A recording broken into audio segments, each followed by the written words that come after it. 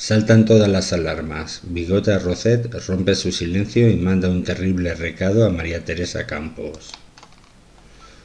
Ha pasado mucho tiempo desde que Bigote decidiera romper su silencio y su relación con María Teresa, una ruptura que fue de todo menos tranquila.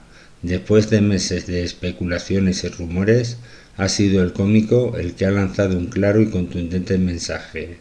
Las lágrimas desgarradoras que la periodista vertió en su última entrevista no serán nada comparadas con la que están a punto de brotar de sus ojos.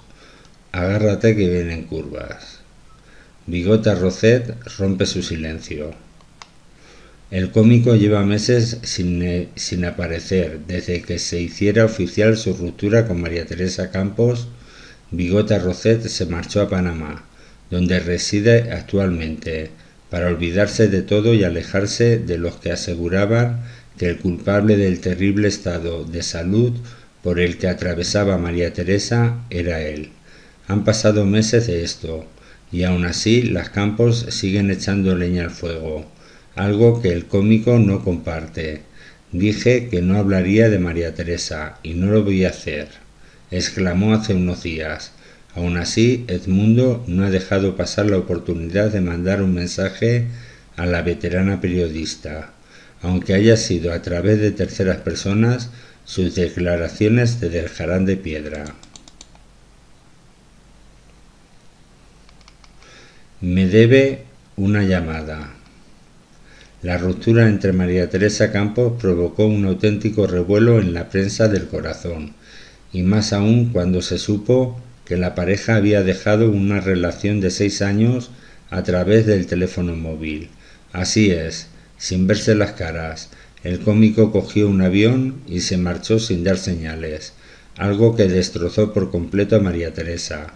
La periodista se desahogó completamente en una entrevista, soltando todo tipo de pestes del cómico, el hombre en quien había confiado plenamente durante más de seis años.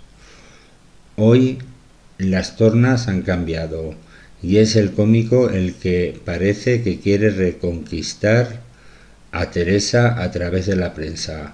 Fuentes cercanas a Edmundo aseguran que habría una posibilidad de reconciliación, al menos por su parte, pero aseguran que esto no sería nada sencillo, pues es Teresa quien debería dar el primer paso.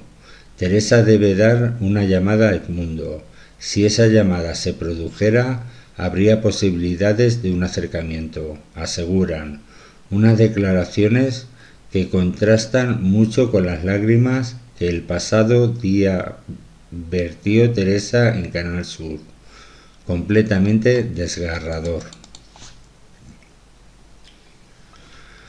María Teresa y sus lágrimas más desoladoras.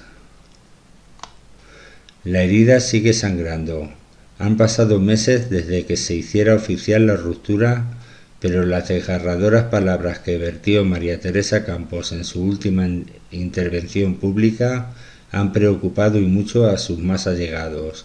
Es más que evidente que la madre de Terelu y Carmen Borrego lo está pasando muy mal. Yo he podido hacer cosas que le hayan molestado. He podido estar más nerviosa en un momento dado eso puede ser también, continuaba explicando con la voz entrecortada, antes de explicar que todavía le recuerda constantemente. A veces cojo el teléfono y veo todas las fotos. Seguía Bertino Porne, que en ese momento escuchaba atónito al mismo tiempo que la audiencia. Conseguía algo inédito, que María Teresa develara los últimos mensajes que se intercambió con el cómico. Los detalles más desconocidos de la ruptura. Lo único que se supo es que María Teresa Campo y Mundo Arrocet habían dejado atrás seis años de relación por WhatsApp, una noticia que llamó muchísimo la atención, teniendo en cuenta la edad y madurez de ambos. Por aquel entonces no se supo nada más, ni siquiera cuál fue el último mensaje que el cómico se había despedido de Teresa una, un enigma que se descifró hace unos días públicamente. Estas fueron las desgarradoras palabras del de la periodista. El final del WhatsApp decía, ya no me humilles más. Pero ¿en qué te he humillado? se preguntaba la periodista con lágrimas brotando, y añadía Bertín, yo todavía no lo comprendo. Sé que es amigo tuyo, pero es que yo no lo comprendo. Fíjate, no me lo puedo creer. Sin, sin haberme preguntado, te estoy diciendo a ti que no he dicho a muchos que me preguntan. No lo comprendo, no puedo creer que esa persona ya no... Puntos suspensivos. Concluía María Teresa. Pues esta es la noticia, coméntala, suscríbete al canal y muchas gracias por estar ahí.